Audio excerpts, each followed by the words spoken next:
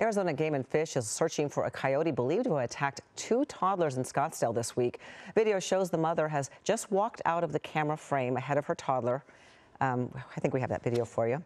And that's when the coyote attacks off camera.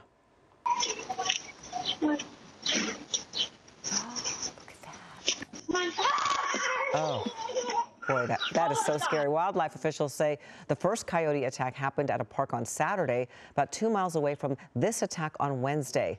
Both toddlers were treated for minor injuries. The department is reminding parents to keep their children close while outside. Boy, that's a scary thought. A coyote attacking your toddler? I know, and thank goodness that mom really was right there. Yeah, oh that goodness. coyote was watching Yeah. the toddler. Scary. Hello, I'm Mark Brown. Get more great ABC7 content by clicking the subscribe button for our YouTube channel and download the ABC7 Los Angeles streaming app on Fire TV, Android TV, Apple TV, and Roku to watch on your TV.